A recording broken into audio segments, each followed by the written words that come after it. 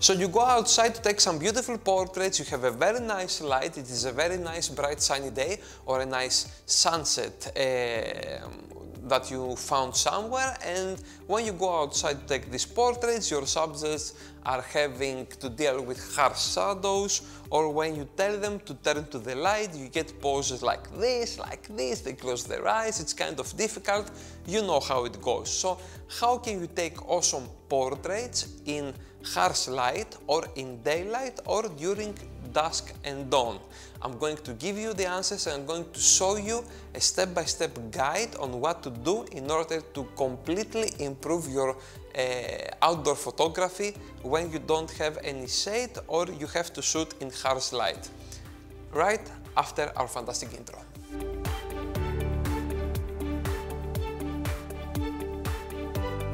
Hello again, this is Stratos Agiani from Ilumius.com, the website and YouTube channel that has as purpose to educate and help creative people like you to become better on what they do with the gear they already have and also to build a profitable business around the passion that they have. And uh, if you're new here, consider subscribing because we publish each week uh, videos like this in order to help you out regarding photography, Photoshop, Lightroom, social media for creatives and also uh, business advice that you can use in order to make a profitable business. Now, let's dive into our subject for today. Our subject is photography during harsh light hours with natural light. Now, the problem is that most people don't know what to do and the problem is that sometimes a photo shoot can fall apart if you don't know what to do. So I'm going to show you right now how I handle situations like this and what are the two most powerful tips I can give you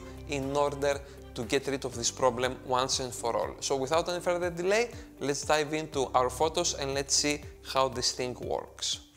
Okay, as you can see here, we have a photo of Iro that was shot during dawn um, uh, I'm sorry, during sunset and uh, the light is really harsh although the sun is low. As you can see we have some really harsh shadows around her nose, beneath her eyes, here in her head, etc. etc. As you can see here the hand looks very squarish. It looks very flat, it looks very blocky and the same goes for the nose over here. So how do you take photos that look good in a terrible, let's say, light like this? Well, there's one simple trick. All you have to do is go over here and make the model look toward the source of light. For example, Iro here is uh, turning her head directly to the direction where the sun is actually setting. And you're going to notice that you have a lot uh, of light on her face, it looks a lot smoother. You have minimized the shadow uh, at the left side or her right side actually uh, near her nose and you can see that the shadow over here is a lot softer, okay? The problem though right now is that her eyes are slightly closed and that if you uh, have someone turning his face towards the sun, he's going to be blinded, he's going to close his eyes or her eyes, etc. etc. So what I usually do is I tell uh, the person that I'm taking portraits of to look somewhere around uh, the general area of uh, the light source, for example, the sun in this uh, example, and I tell them to close their eyes and then I'm going to count until three. And once I say one, two, three, I want them to open their eyes and directly look at me for a little while while I'm taking a few shots. So as you can see here, I say one, two, three, she opened her eyes, she uh, looked into the lens and we got this very nice and beautiful result. Now, as you can see here, I have underexposed just a little bit this photo in order to show you the difference. We have the last photo over here with her head pointing at the source of the light and her eyes looking here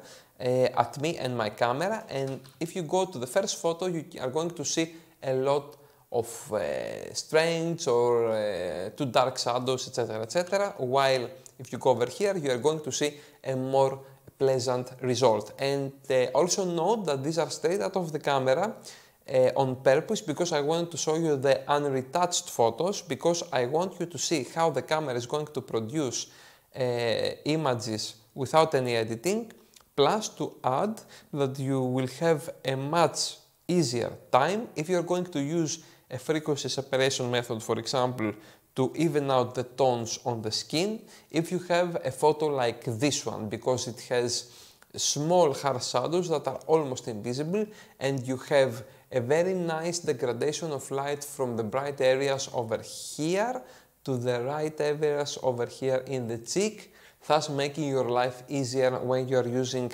frequency separation or anything similar.